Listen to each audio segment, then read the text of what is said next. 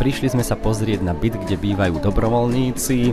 Momentálne je tu Diego z Portugalska, ktorý má, vybral si takú najväčšiu izbu, má tu fotky z projektu, ale aj svoje fotky z detstva.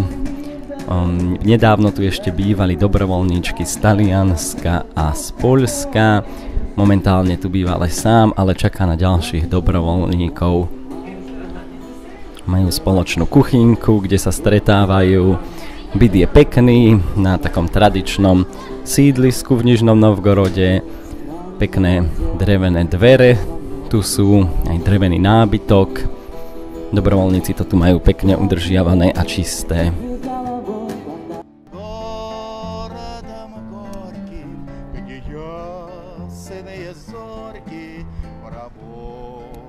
поселке подруга.